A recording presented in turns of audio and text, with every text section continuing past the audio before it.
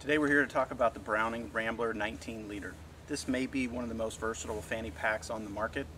Uh, we'll talk a little bit about some of the features and benefits of the product and that way it'll give you a better idea of what the Browning Rambler is about.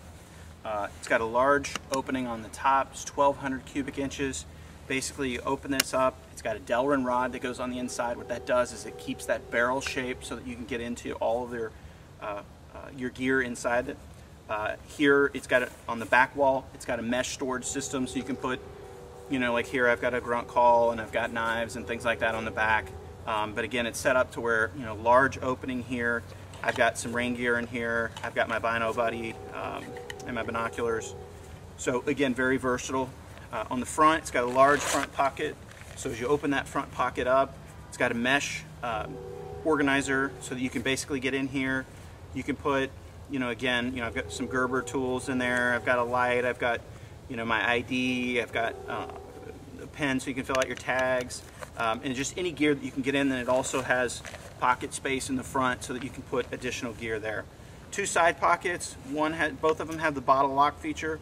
What this does, it allows you to put a water bottle or anything in here, cinch that down and lock it in so it doesn't fall as you walk. If you look on the back panel, Browning put the 3D air mesh on here. What that does is it basically wicks away moisture because it's got a raised mesh panel on the back and on the waist belt section. Uh, two waist belt fanny pockets. Open those up. Here they've got organizers on the inside as well. Um, I've got two sets of gloves in here.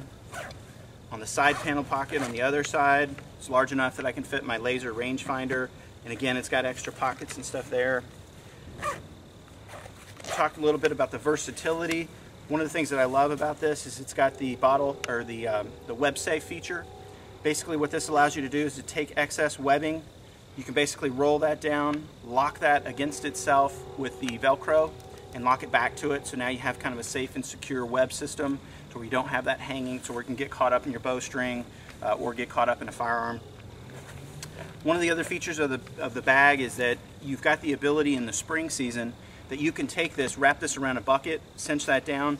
You can put shells and stuff in the side pockets, and then basically have this open, large main pocket here, the bucket, and then again, you can just drop those doves down in there, or you can drop your spent shells down in that pocket as well. So again, highly versatile product.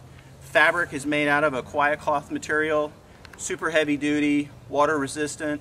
So again, Rambler 19 liter, Go out and find one at your local sporting goods retailer, or you can go on browningbags.com and you can purchase it direct.